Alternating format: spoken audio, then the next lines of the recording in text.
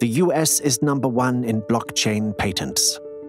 Despite Chinese firm Alibaba filing the most patents so far this year, the United States still takes the lead as the country with the most blockchain patents. A September the 17th report from intellectual property consultancy KISS Patent said.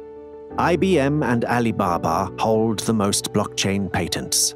Alibaba has filed more than 200 patents, whilst IBM filed a little over 100.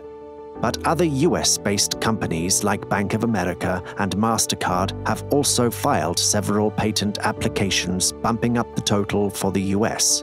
According to KISS Patent, more blockchain patents have been filed in the first half of 2020 than all of 2019.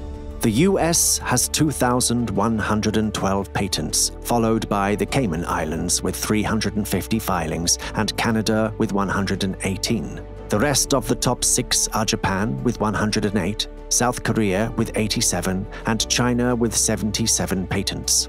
The Cayman Islands is second as Alibaba's subsidiaries headquartered in the British Overseas Territory filed these applications. Although Chinese companies are often represented in various top 10 blockchain patent lists, not all of the companies work solely on blockchain. KISS Patent says these companies have blockchain applicants as part of their technology portfolio.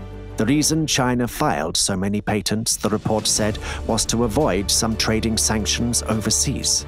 It explained that They've learned from the example of Xiaomi, the Chinese Apple, which was blocked from selling its smartphones in the foray out of China because the Swedish Ericsson held so many patents.